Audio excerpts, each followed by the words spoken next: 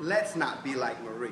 Come to Gold's Gym where you can get your exercise on, which will help you, of course, to increase your mood, increase your energy level, reduce stress, and help to reduce your anxiety.